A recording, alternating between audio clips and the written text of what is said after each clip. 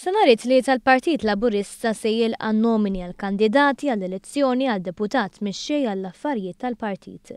One News tkellem ma' Stanley Mifsud, mill-Kummissjoni Elettorali tal-Partit Laburista dwar il-proċess li jiskatta issa. Dawn in-nomini eventwalment jiġu vvettjati min-naħa ta' kummissjoni fejn naraw li huma konformi mar-regoli tal-istatut tal-partit. Allura proponent u sekondant huma delegati, huma mħallsa skont l-istatut bħala membership. It-tieni proċess ikun dak li jsir fid-disgħa u għaxra ta' Ġunju waqt il-konferenza ġenerali straordinarja fejn hemmhekk id-delegati jesprimu l-preferenza tagħhom. Biex kandidat ikun maħtur deputat mexxej irid jikseb 50 fil-mija tal-voti u wieħed.